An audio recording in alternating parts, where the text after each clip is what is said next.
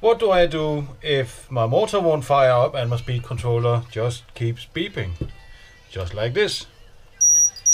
So, one thing you could do is to check if the rotor sense is working. Oops. Just like that. But that's working. Oops, wrong direction. And just like that, and this one. No, it's not working. Hmm. I think that speed controller is broken, so I need to replace that. How do I do that? Pretty easy. Uh, remove all 12, oh it's actually 14, all these one from the top and the four smaller ones that holds the side plates on the bottom. And then you can actually just remove uh, your top cover. And the speed controller that's not working is that one. So I actually have to remove, or I think it's a good idea to remove the the, the arm itself. So unscrew these three at the bottom. But the arm is, or with the speed controller is not working.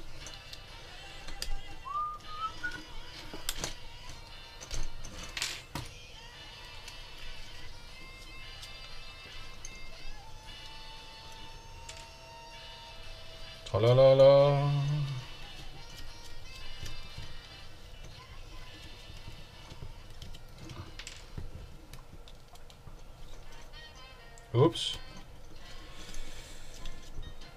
Okay.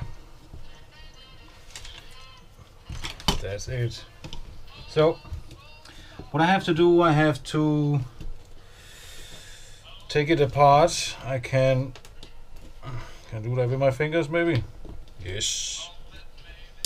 Take it apart because I have to unsolder the motor from the speed controller but keeping the wires as they are and uh, just opening the the, the heat trick. heat shrink there you go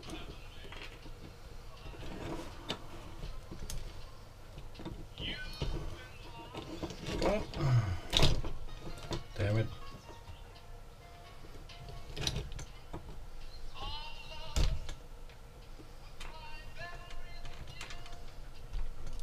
Oh yes. There we go. Okay. Now it's open. Now I have to unsolder these these three ones and I have to unsolder these two points on the PDB. So let's just do it.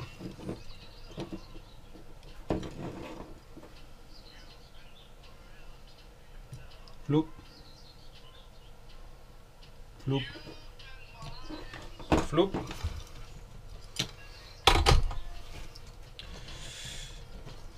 Move it.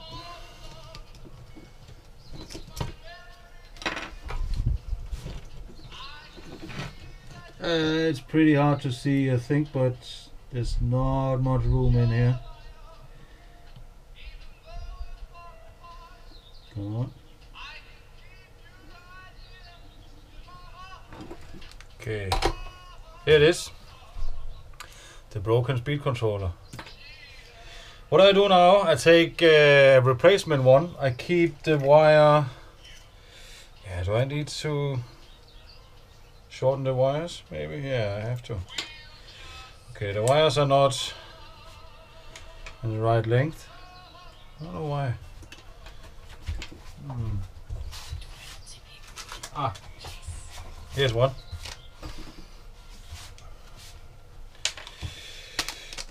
I take my replacement speed controller and I just solder it back on.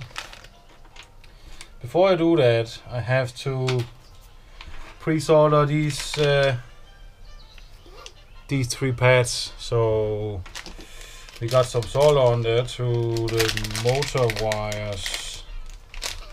So that's pretty easy.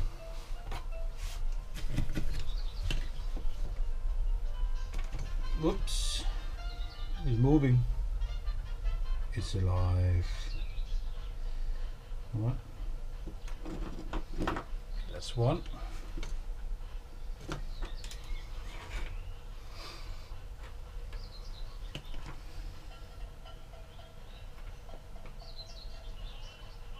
There's two. And that's three. Good enough.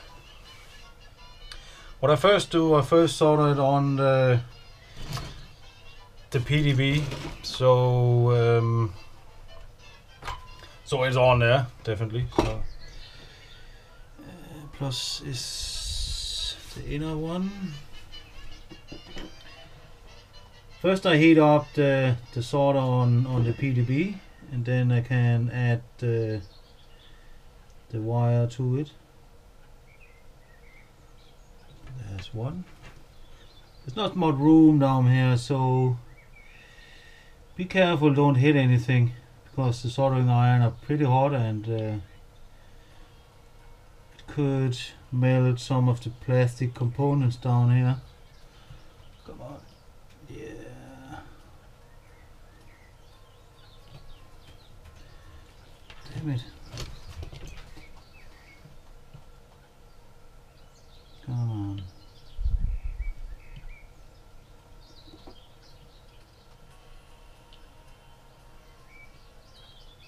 Okay, that's good enough.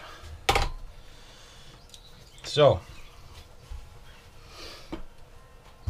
what we have to do now, we have to put it through the arm and we have to put on the heat shrink. Oops. Could also just uh, attach the connector. Speed controller connector, come on. There you go. Okay, heat shrink.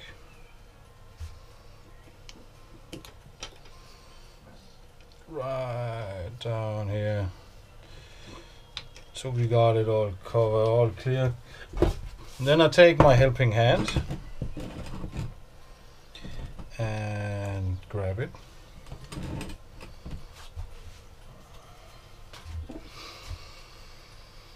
I can now solder on my three wires for for the motor.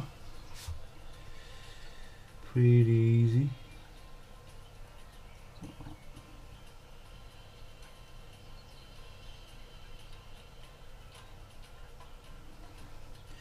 Just make sure that uh,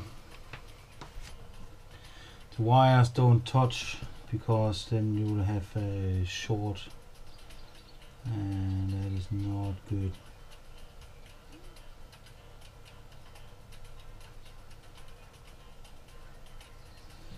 Just as I just did right here. Okay, take this one off, move it a little bit.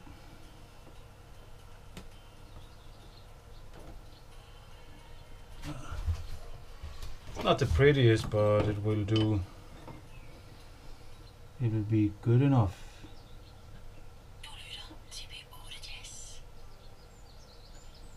Get pretty hard for the fingers, so it's not the prettiest, but it will do.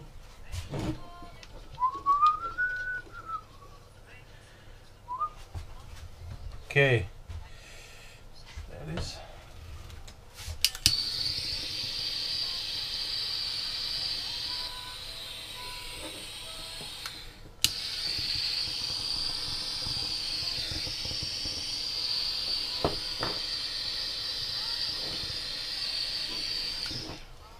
Okay, that should be it.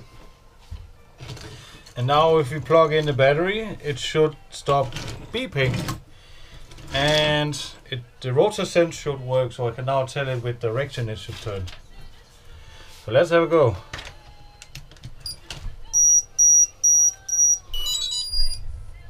It stopped beeping.